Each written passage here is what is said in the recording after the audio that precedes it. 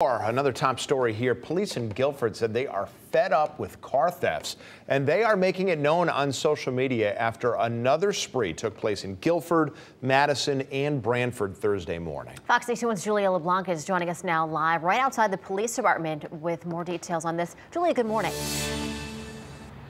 Good morning, Tim and Erica. Yeah, you can tell that Guilford police are just fed up with this trend by that lengthy post on Facebook.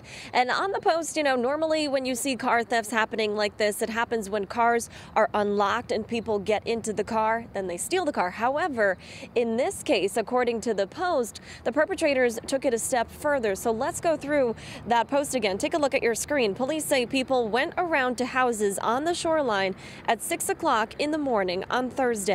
And when they found locked cars in the driveway, they say they searched for unlocked doors in homes. When they were successful, they got inside, found the car keys, stole other items like credit cards, small electronics, wallets, and purses, and then they stole the cars too.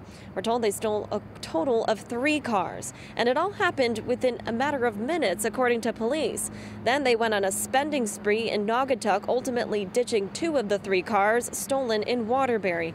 The Waterbury Police Department was able to track at least one of the people, according to this Facebook post. Now, the Guilford Police Department using this as a reminder to tell people to not only lock your cars when you get home for the day, but also make sure you are locking those windows and any other entry point into your home doors, back doors, any entry point. Make sure it is locked because they say in this Facebook post, that these people went into the homes while people were home, while dogs were there, while they were barking, not caring that people were home at the time because just because they could, they could enter their homes. We will, of course, be following this story for you throughout the morning, so stick with us. We are live right outside the Guilford Police Department. Julia LeBlanc, Fox 61 News.